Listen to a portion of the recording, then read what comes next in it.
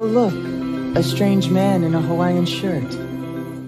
What belongs to the sea can always return to the sea.